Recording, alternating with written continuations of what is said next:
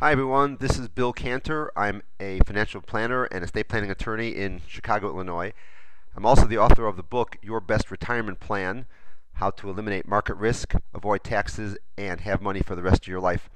And in this video, I'm going to describe some of the key points in the book and uh, hopefully it'll be educational for you.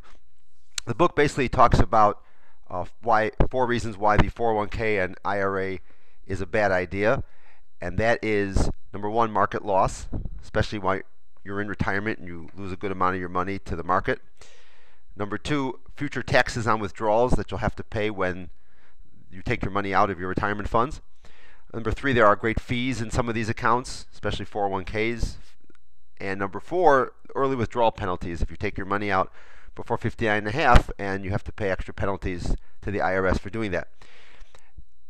We discussed the alternative to traditional retirement planning, and that is Index Universal Life, which is a what I call high cash value, low death benefit life insurance. And we're going to describe that in this video. Uh, today, we're going to talk about these two main problems, and that is market loss and future taxes, why it's important to avoid them, and how to avoid them in your retirement funds. So first of all, we believe that market loss is unacceptable in retirement. This is a picture of the S&P 500 performance for the 17 years from 97 to 2013. You see it's a lot of ups and a lot of downs. You know, up here 100% and then down 57%. And this is very scary to an investor.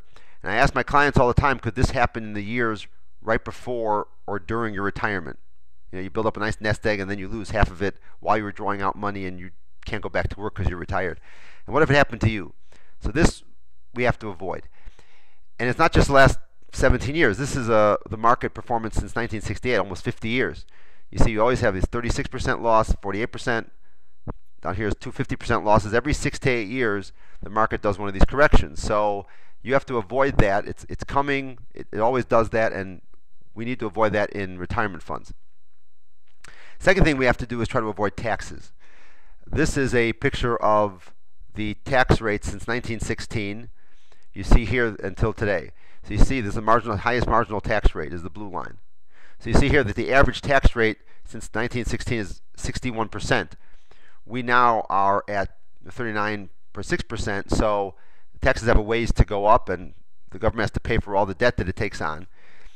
According to David Walker, who was a former Comptroller General of the United States, he said that unless we begin to get our fiscal house in order, there's simply no other way to handle our ever mounting debt burdens except by doubling taxes over time. And if you think taxes are going up, whether they double or not, I don't know, but if you think they're going up, my question is, does it make sense to defer into higher taxes? You know, why put money away now, which will be taxed later at a higher rate than it is now? So we have the what would be the ideal place for your money? The ideal place for your money would be something that is extremely safe, using A plus or double A rated companies, which have absolutely no stock market loss,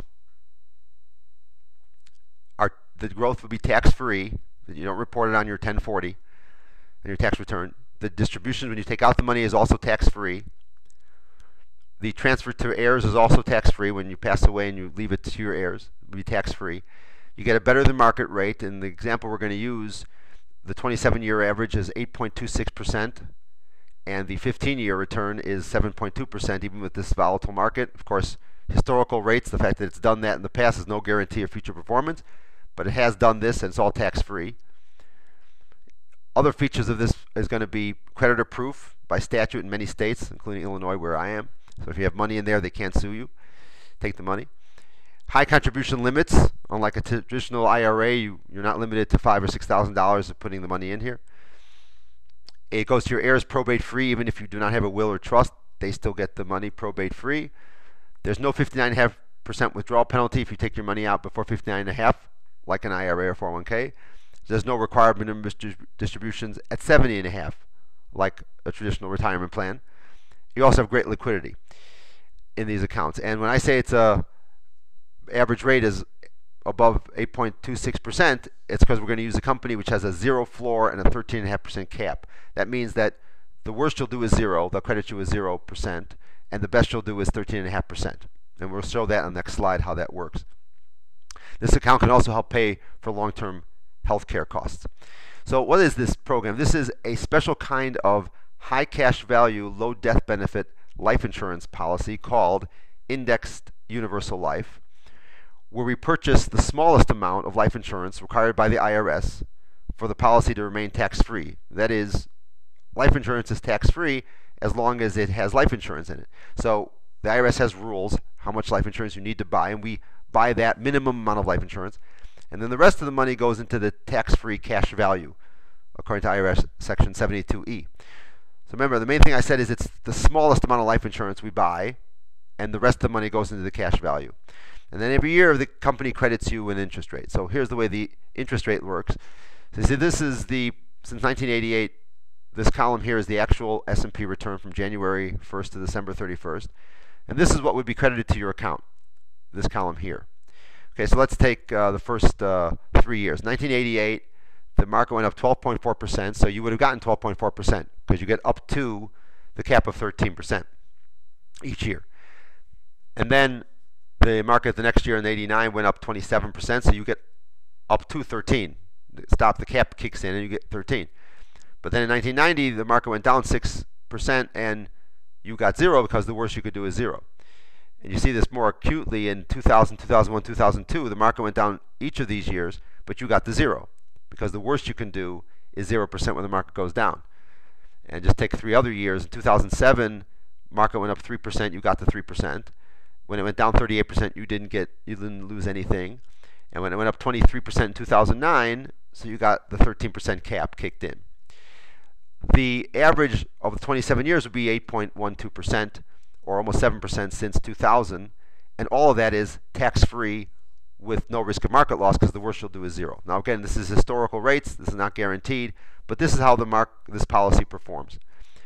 This is a graph of that. If you had $100,000 in the S&P versus the uh, IUL, the Index Universal Life Policy, since 1999. So you see the red line here is the market, the S&P 500, and the blue line is the Index Universal Life Policy.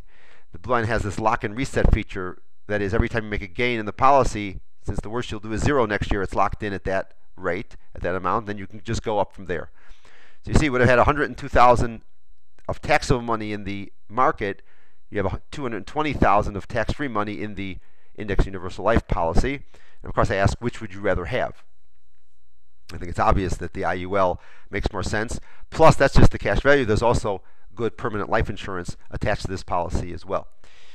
If you want more information about this, please uh, contact me. My phone number is 847 674 6470 or my website, kanterwm.com, or you can get a free copy of the book at www.yourbestretirementplan.com. Thanks a lot.